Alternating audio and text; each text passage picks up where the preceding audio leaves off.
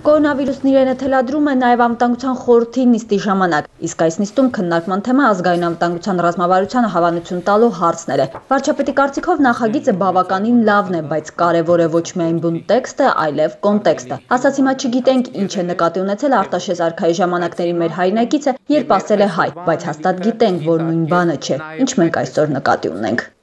2000 տարի հետո երկրի վրա ապրող հայը չի լինելու այնպիսին, ինչպիսին մենք ենք այսօր ինչպես եւ մենք այսօր այնպիսին չենք, ինչպիսին եղել է 2000 տարի առաջ ապրած հայը։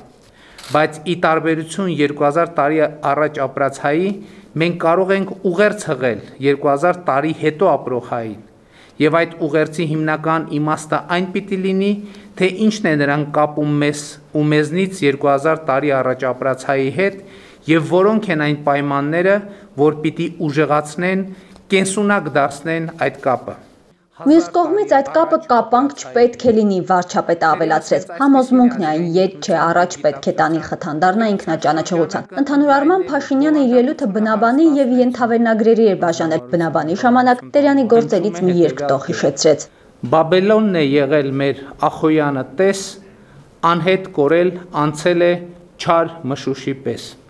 Հետո փոքրիկ պատմական ակնարկներ հայ նահապետի, Վանի թագավորության, Երևանդունիների, Արտաշեսյանների, Արշակունիների, Բագրատունիների, Կիլիկյան Հայաստանի առաջին հանրապետության հետնորդ լինելու մասին։ Փաշինյանն ընդգծում է. «Գիտակցում ենք խորհրդային Հայաստանի բացառիկ դերը Հայաստանի երրորդ հանրապետության հպարտ քաղաքացին ենք։ Արցախն ազատագրած հայ ժողովրդի զավակները, իսկ Հայաստանի հանրապետությունը Արցախի հանրության, անվտանգության եւ ազատության երաշխավորն է։ Համահայկական պետություն աշխարի բոլոր հայերին ներկայացնող»։ Հայ ժողովրդի ազգային արժեքներն են. Հայոց պետականությունը, Հայաստանի Հանրապետության քաղաքացիությունը, հայոց բանակը։ Արժեքների թվարկումը կարճերից չէ։ Էպոսից մինչև լեզու գրականություն, սփյուռք, ընտանիք, անհատ, եկեղեցի, մշակույթ ու բնաշխարհ, խոհանոց, ինչու՞ չէ ազատասիրություն ու հարգանք ազգային փոքրամասնությունների նկատմամբ, ինչ վերաբերում է նպատակների, ժողովրդի, ազգային նպատակների մասին է խոսքը։ Արցախի ինքնորոշման իրավունքի միջազգային ճանաչումը առանց որևէ սահմանափակման։ Հայոց ցեղասպանության միջազգային ճանաչումը, հետևանքների հաղթահարումը եւ վերացումը։ Արժեքների դեպքում էլ թվարկումը կարճ չէր։ Հայաստանի Հանրապետության քաղաքացիների անվտանգության, բարեկեցության մասին խոսվեց։ Կանանց եւ տղամարդկանց իրավահավասարության, հավասարության օրենքի առաջ։ Հայոց լեզվի իմացության մակարդակի եւ Հայաստանի Հանրապետության քաղաքացիություն ունեցողների թվի ավելացումը եւս այս շարքում կար, ինչպես նաեւ համահայկական ներուժի համախմբումը ազգային նպատակների իրագործման շուրջ։ Հերթը համակեցության համահայկական կանոններին հասավ։ Բռնությունը պետք է բացառվի ներհայկական որևէ հարցի լուծման գործիքակազմից։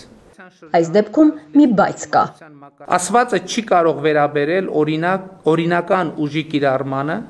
հանցագործությունների կանխման եւ բացահայտման, հանրության բնականոն կյանքի ապահովման, ինչպես նաեւ արտաքին ագրեսիայից հայրենիքի պաշտպանության նպատակով համակեցության համահայկական կանոնների շարքը շարունակելով։ Ժողովուրդը եւ նրա ազատ կամ արտահայտությունը իշխանության ձևավորման միակ աղբյուրն է։ Ժողովրդի ազատ կամքի աղճատման, աղավաղման ցանկացած փորձ պետք է դիտարկվի որպես հակապետական, հակազգային գործունեություն։ Երորդ Հայաստանի եւ Արցախի հայ ժողովրդի ինքնիշխանությունը բարձրագույն արժեք է։ Օտար ուժերին ներհայկական ներհայաստանյան հարցերի լուծմանը ներգրավվելու, մեր երկրում որպես օտարերկրյա շահերի ներկայացուցիչ հանդես գալու պատրաստակամություն ունեցող ուժերը պիտի արժանանան հայ ժողովրդի եւ նրա լեգիտիմ ներկայացուցիչ Հայաստանի կառավարության կոշտ հակազդեցությանը Կոռուպցիայից զերծ Հայաստան ու Արցախ ունենալ, ժողովրդին հասցված նյութական վնասի վերականգնում իրականացվի։ Իրավունքի եւ օրենքի գերակայությունը պետք է դառնան ներազգային հարաբերությունների առանցք։ Համոզմունքն է, արտոնյաններ չպետք է լինեն։ Արտաքին կամ ներքին ազդեցությունների տրվող դատարանների գոյությունը սպառնալիք է ազգային անվտանգությանը։